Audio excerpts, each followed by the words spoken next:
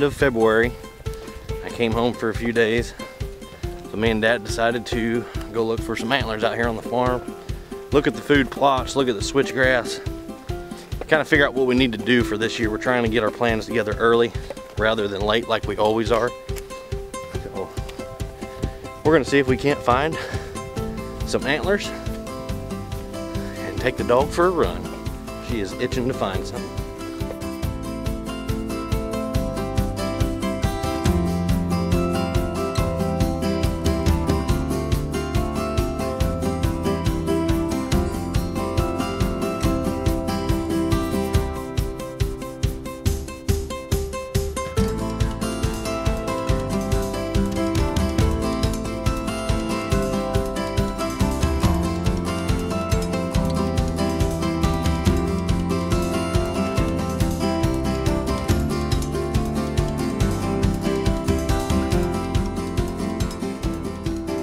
Well, we've made a big loop in the farm. And we have only found two sheds. They happen to be a match set. We know we've got a bunch of bucks that are left over. Um, so we're pulling some trail cameras right now. I guess we should have done this before we walked the whole farm. But it's the end of February. You would think most of them have dropped by now. So we're gonna go look at some pictures and see what's going on. And we've got a couple other things that uh, we're gonna do today on the farm to hopefully help out the habitat.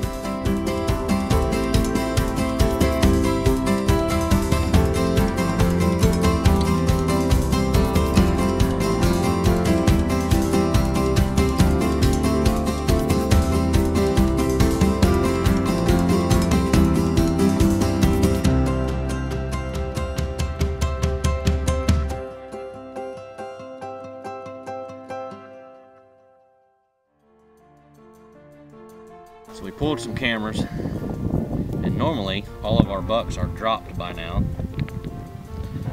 But it looks like all but two or three, including this deer, are still holding their antlers. So, that kind of sucks.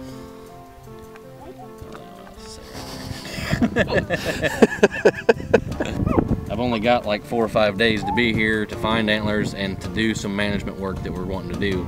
We've got a little, you know, we've done everything on this farm from, you know, food plots, of course, switchgrass, and now we've enrolled some more CRP. Um, the next thing that we've kind of overlooked over the last several years is, is a good timber management plan. And we've got some stuff in there that, that's not good. And we've got Chase Burns coming down right now. We're gonna get in that timber. We're gonna explain to you what is bad, what is good, and we're gonna try to fix it here in the next few days.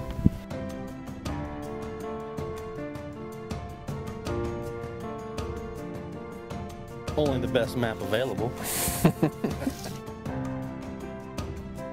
okay, so the plan today, we're gonna come in here. We've got a really bad case of bush honeysuckle throughout the farm and really the whole county. So we're gonna come in here, that's why you're here today. We wanna know how to get rid of bush honeysuckle. It's taking over our whole woods. We've gotta get rid of it. So we're gonna start on this end, basically. This used to be old cattle pasture. The Right. cows always had this grub down. And four or five years ago now, we've taken the cows off and what has come back? Bush honeysuckle underneath our, our open hardwoods, mm-hmm. bush honeysuckle, 12 foot tall, nothing underneath. So this is first year honeysuckle, right? This is what it looks like one year old. And basically about a foot and a half, two foot tall. It's a little bit smaller in diameter than a pencil. And when the ground is moist like this, it's so shallow rooted, you can pull it right out of the ground. You just leave it lay or pile it up or whatever, and it's gonna, roots are gonna dry out and it's gonna die. But by year two, it's three foot tall, it's a little bit bigger around, starts to get more like your finger, and you can still pull it out, but the roots get pretty long. And it grows super, super fast. So by year three or four, we're looking at plants like this, four or five foot tall, four or five years, and you're looking at something that's anywhere from 10 to 15, sometimes 20 foot tall. We're gonna find some of those when we get back in here. This one's too big. I'm not Hercules, so I'm probably not strong enough to get that one out of the ground. And that's where the chainsaw comes in. So this time of year we can foliar spray, or sure can't, Hercules could, could pull it out of the You think so? So this time of year we can basal bark spray it. We don't have to cut it. We use a little bit more chemical if we do it that way, but we can spray just a say foot to 16 inches and down to the soil line. You don't want to waste a lot and get it all over the ground, but if you spray it right here, it'll absorb through the bark and into the cambium. And if you get it early enough before the sap starts to run, before this plant starts to come out of dormancy, you don't have to cut it. And with a little bit of chemical, you can get it killed. But uh, I've found that we get a better kill if it's this size, if we go ahead and cut it this time of year. If we cut it off clean and then we just use our little hand sprayer and put the chemical solution right on there, and it won't come back to life. Getting ready to mix up our uh, forestry chemical. We use triclopyr, uh, brand name might be Garlon, but we use uh, generic and it's 61% concentrate. You'll hear about people using this uh, chemical called Crossbow. Crossbow has triclopyr in it, but it's very low, uh, low percentage of the actual chemical. So if you're spraying a lot of brush, if you're cutting like we're gonna be today and trying to kill bush honeysuckle, you're better off just buying a concentrate chemical like this. You get more, a lot further for your dollar. Um, and we're mixing it with uh, in a crop oil mix and then we're going to use a blue forestry dye so we can see where we've been and what we've hit. And uh, there's nothing special about it. You can order all this stuff online. It's not uh, restricted use pesticides so um, we're gonna mix up a pretty small dosage and you'll see how far such a little uh, little quantity of this chemical will take us. It'll actually go quite a long ways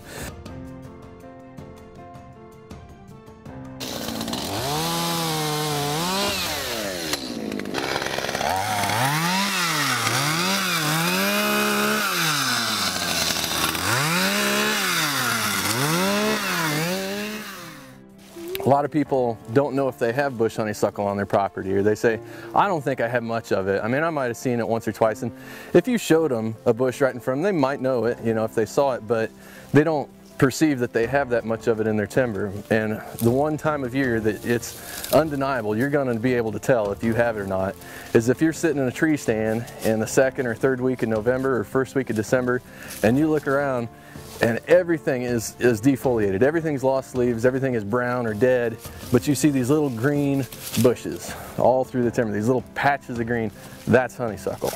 Like I said, it's the first thing to green up in the spring, it's the last thing to drop its leaves in the fall.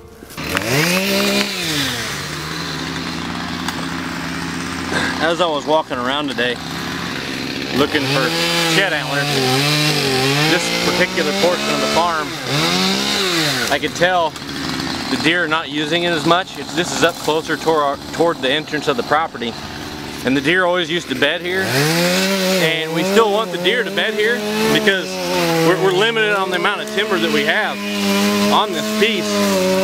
But if you look where I'm at right now, you can hear them working in the background. But if you look at where I'm at right now, you know, it looks like just the thickest, nastiest, you know, perfect bedding area. But when you get in here, the ground is really bare underneath and we've got a big giant canopy of these just bush honeysuckle. Right now it's as open as it will ever look because all the leaves are off of it but literally you come down in here anytime after green up all the way through mid-December and you can't see somebody that's standing 10 feet from you and it's so dark in here and there's no native plants there's no browse for the deer underneath of this stuff you know, they're gonna nibble on this stuff, they're gonna eat a little bit of it, but it's a straight monoculture right now.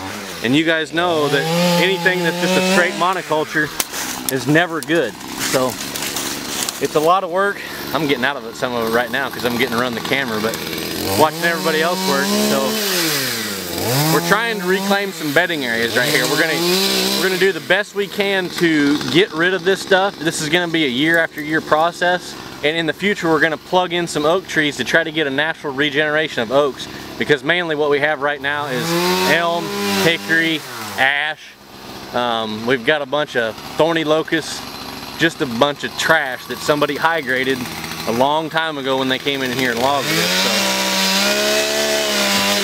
just trying to make it better for the future. That's all we're doing. We know it might hurt us in the short run, but we're trying to make it better for the future.